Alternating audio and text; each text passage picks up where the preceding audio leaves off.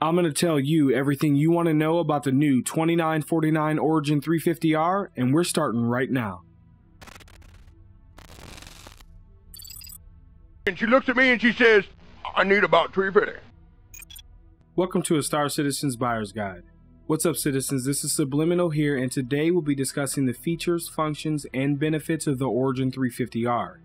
And we'll compare those features amongst competing ships so you can make an informed buying decision. We'll cover a brief overview, take a look at the exterior and the interior, review stat comparisons, go over weapons, discuss components, review available customization packages, look over pros and cons, and finish up with my thoughts on the ship being reviewed.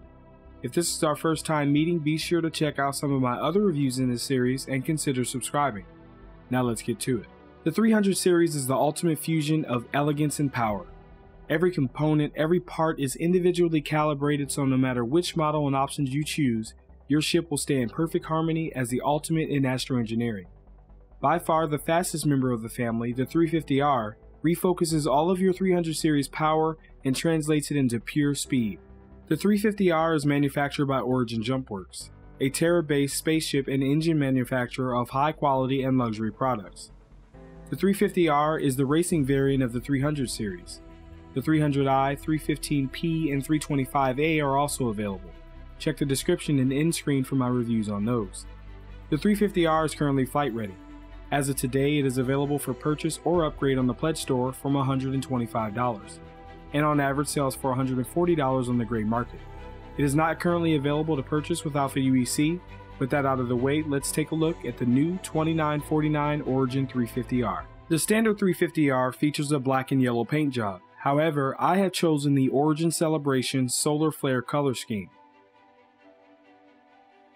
On the nose, you have the size 4 M5A laser autocannon and its distinct 300 series LED headlights. On the roof, you'll notice the dual engine scoops exclusive to the 350R package. On the wings, you will notice its retro thrusters. Under the wings, we have our Shredder ballistic cannons and one Size 1 Strike Force 2. Around the rear, we have our main thrusters for both of the 350R's engines.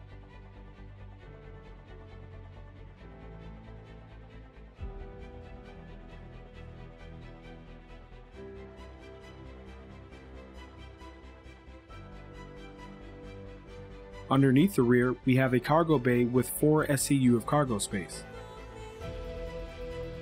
Now for the interior. To the left, we have the cockpit. You'll notice the red and carbon fiber trim. This is customizable in the Pledge Store.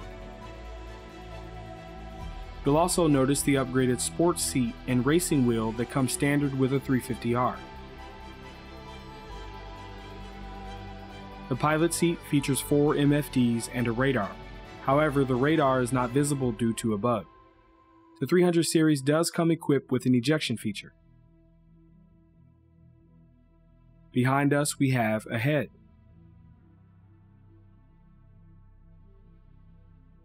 Unique to the 350R, we lose the amenities found in the rest of the 300 series, and we just have a single bed in the rear.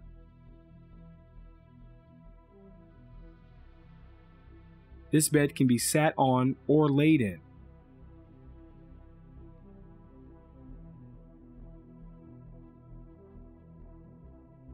Now let's see how it compares to other ships you might be considering. For comparison, I have selected the following 10 ships. The Google Sheet document with the data is linked in the description. If this is your first time here, you may want to check the Google Sheet or pause the screen. It explains how I have selected and compared the ships. This comparison is of the base model 350R. Check the Google Sheet to see how the other available customization package compares. The 350R comes in at around 64,000 kilograms. It has a max crew size of 1, has a cargo capacity of 4 SCU, it has just over 3,000 hit points across its body, this was nerfed in 3.5.1 to better suit a racing ship. Its shield ties 4th place with most ships in this list and can withstand just under 6,500 hit points of damage. Has a sustained gun DPS of just over 1000, it takes 3rd here. It also comes in 3rd with a burst DPS of over 1200. Has a combined missile payload of over 1700 and it ranks 2nd. It has a fuel capacity of over 52,000 fuel units It has a max yaw pitch rate of 69 degrees per second. It gets beat by the Razor series here pretty bad. Its SCM speed of 258 meters per second takes first place, and its top speed of 1347 is second only to the Drake Herald, but it is the fastest of the racing ships. Its quantum drive has a 46 megameter per second quantum speed. The 350R ties in second place here with seven other ships on this list. So travel from Port Olisar to ArcCorp will take you about 15 minutes and 13 seconds. Its QT range of 60 gigameters takes fourth, so it can travel from Port Olisar to ArcCorp 1.5 times before needing to refuel. Now let's talk about its firepower. The default 350R comes with two size 3 weapon hardpoints on the wings and one size 3 hardpoint on the nose. On the wings, we have two SW16 BR3 Shredder ballistic repeaters each. One Shredder is size 3, has 112 physical damage with 240 RPM for a total of 448 DPS and a 2700 meter range. On the nose, it has one M5A laser autocannon. One M5A is size 3, does 318 energy damage, with 65 RPM for a total of 345 DPS and a 3500 meter range. For missiles, it has two MSD 212 missile racks with two Strike Force 2s each. Strike Force 2s are size 2, are cross section, have 874 mixed damage, a 2.68 second lock time, and a 4800 meter lock range. Now for the components. The standard components available on the 350R are as follows. It has one size 1 EOS quantum drive with a 46 megameter per second quantum speed and a 10 second cooldown. It has one size 1 sun flare power plant with over 2300 max power generation per second two size 1 quick cool coolers that provide 160,000 max cooling per second each. And last but not least, we have two size 1 target shield generators with over 3200 capacity each. Let's talk about the customization. To see all of the 350R customization options including color, trim, and weapons packages, add the guide here to your watch later list. We'll get straight to the point here. The 350R has just one additional package available to purchase. Here's what you need to know.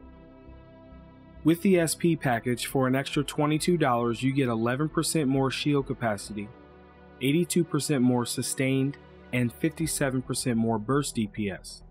No additional missile payload, a 24% more gain in quantum speed, a 3% quantum range loss, 39% more max power generation per second, and a hefty 137% more cooling per second. And if you purchase these components in game right now, it will cost you around 154,000 Alpha UEC. I think this is a great package, but keep in mind that 150k is an evening's worth of playing the game at most, and these weapons and components will now persist after death. I would say its pros are its SCM speed, it is the best in the game so far. Its max speed, of course, and unlike every other racing ship, you can sleep in it and poop in it, hopefully not in that order. Its 4 SCU of cargo space can certainly come in handy, and its acceleration is great. Unfortunately, the community has not come up with a way to measure this in the game file since the new flight model, so I am unable to compare this to other racing ships with any certainty. Its cons are its max yaw pitch rate is subpar compared to its competitor, the Razor series. Also, the price. Is it just me or is $125 too much for a racing ship? Let me know what you think down in the comments. The HP nerf hurts. It brings it in line with the Razor series, but I think it was brought down a little too low. However, I still can't fault it for this because the Mustang Gamma is the only racing ship with more HP. Of course, its DPS and missile payload are low, but that's to be expected for a racing ship, so I won't add this to this list. So, my thoughts. The 350R is a great racing ship in my opinion.